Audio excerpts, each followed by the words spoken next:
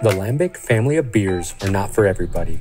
They are wildly unpredictable, not knowing if they want to be a beer or wine. I remember drinking Lambic for the first time, and I was in shock and surprised. Where's the malt and the hops? Wow, that was funky and complex. I don't even know how I would describe this. You see, you won't find any other beer like it.